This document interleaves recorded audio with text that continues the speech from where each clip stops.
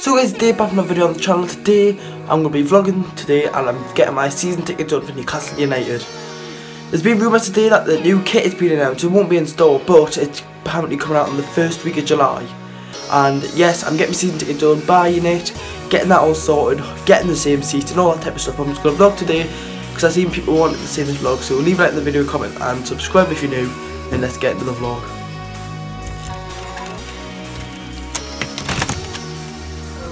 Hello, Josh. Hello. Yeah.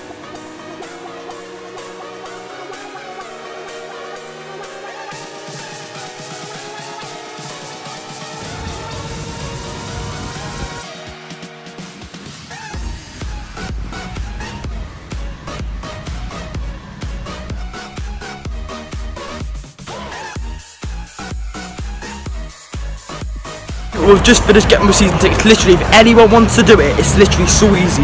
Literally, just you give your old season ticket in, they scan it, you get your number, you pay your money, and it's done. We've got the receipt here, but just gonna go to town. We're gonna go to Hopkins, whatever you want to call it, and down the town. But yeah, beautiful stadium. Next season gonna be excited.